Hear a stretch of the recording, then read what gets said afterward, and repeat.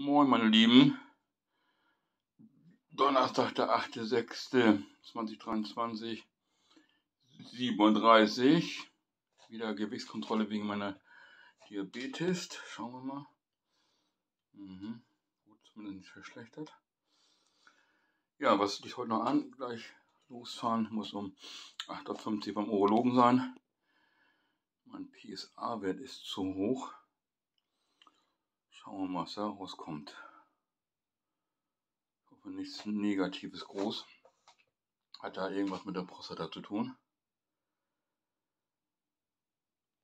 Gut, ich mache mir da nicht groß Gedanken jedenfalls. Schauen wir mal insgesamt, was dann passiert. Ich jedenfalls gehe da locker ran und dann uns überraschen.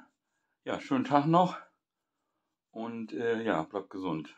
Ich auch. Ciao.